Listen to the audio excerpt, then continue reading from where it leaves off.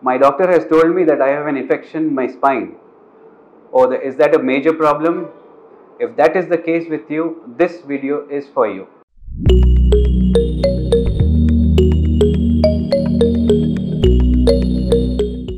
I'm Dr. Himanshu. I'm a spine specialist working in Hyderabad and I'm going to take you through the topic in very brief, the infections of spine. Now what are the infections of spine? Whenever the spine uh, gets infected, it starts form, it, it starts losing its uh, stability of the spine.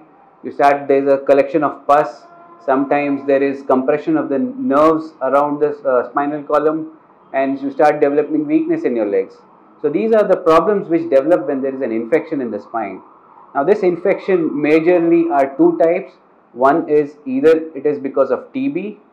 In India TB is very common. So TB infections are also very common. The other types of infections are non-TB or the pyogenic which we call. Uh, so these are the major types of the infections and uh, when you have an infection a surgeon basically sees that is the stability of the spine affected? Is the infection causing more damage to the bone or to the nerves? And number three, is it going to cause a future deformity of your spine or no? If these three criteria are there, you might need a surgery for the infection. If these three criteria are not there, the surgeon tries to do is take a biopsy or a small piece from that uh, spine, infected area and sends it for infection to confirm whether infection is there or no. Once the infection is con confirmed, he starts on antibiotics, he starts on medicines and he sees how the infection is getting cured. Now this is one way of managing the infection. The another way of managing the infection when I, what that I said was with surgery that happens only if the stability of the spine is disturbed the, uh, the, the neurological deficit is developing or if there is a deformity of the spine, these are the three places where the surgery is indicated. Why?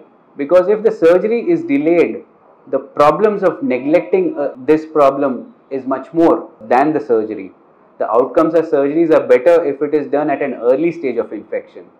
So, to count again, if there is a problem in the stability of the spine, if there is a weakness in the neurology or if there is a deformity, these are the cases where you need uh, surgery for the spine and you should not get worried about it because if it is done earlier, the outcomes are better.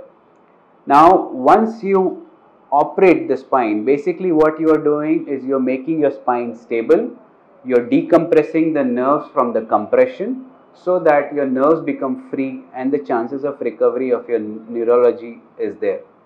Apart from surgery, you have also to send the tissues for biopsy again just to know what exactly the infection is, what exactly you have to use the antibiotics, what is the course of antibiotics. So, when there is surgery needed, you also need a course of antibiotics. Now, this antibiotics as I said could be for the TB or could be for non-TB kind of infections. So, only surgery is inadequate. You get operated along with that complete the course of uh, antibiotics also and then would you have a good outcome. Majority of the uh, infections that are dealt early and given appropriate antibiotics the outcome is as good as any other surgeries and you become as normal as any other person. So if there is an infection the point to be noted or the takeaway message is never neglect it.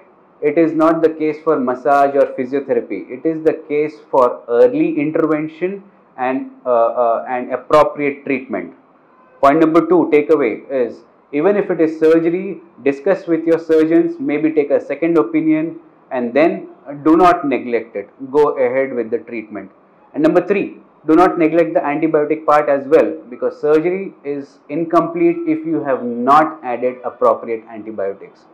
So, to conclude, infections are yes very important because if the infection goes out of control, it becomes hazardous to the patient. You become bed bound, you become uh, uh, deficits in the leg or in the hands or there is a deformity. So, do not take the infection of the spine light. If you have been diagnosed as infection of the spine, please sort it out as early as possible. Take proper opinion. Thank you.